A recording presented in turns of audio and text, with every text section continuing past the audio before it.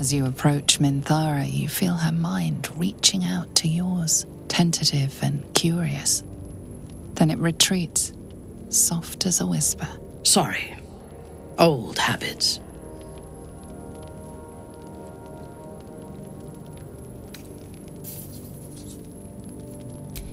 I agree. When we first met, I did not think we would ever share anything more than an uneasy alliance, born of our mutual enmity for the Absolute. I was wrong. A deeper bond has grown between us. I trust you. But I would like to touch your thoughts again, now that my mind is my own. May I?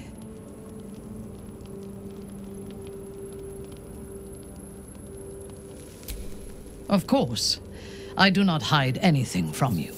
Until my time in the cult of the Absolute, I had spent little time on the surface, except to raid and pillage. I did not expect to find any outside the Underdark who saw the world as I do, and wanted from the world what I want. I did not expect you.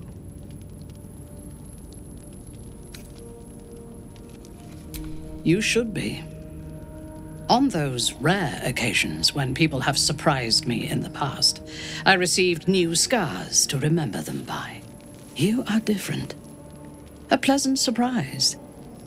One of the first in my long life.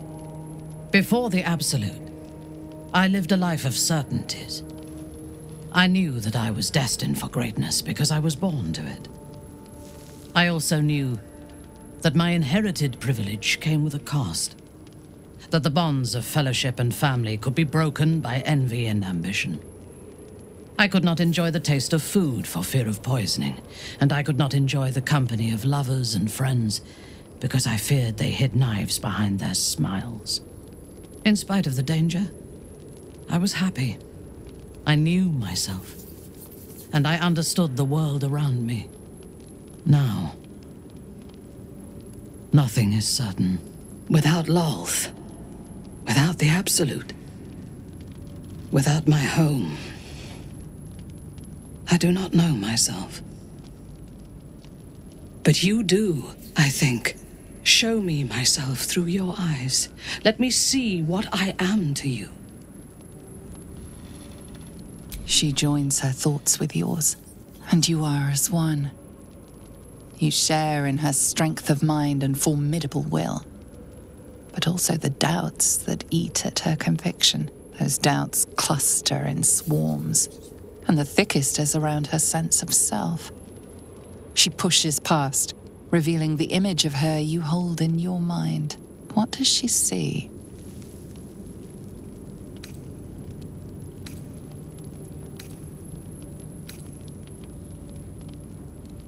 A flicker of warmth had spread from her mind to yours. It is snuffed out in an instant. If I must be a greater monster than the Absolute to survive it, then I shall be. Perhaps one day, if you survive too, you will realize that I had no choice. You wish to consult me?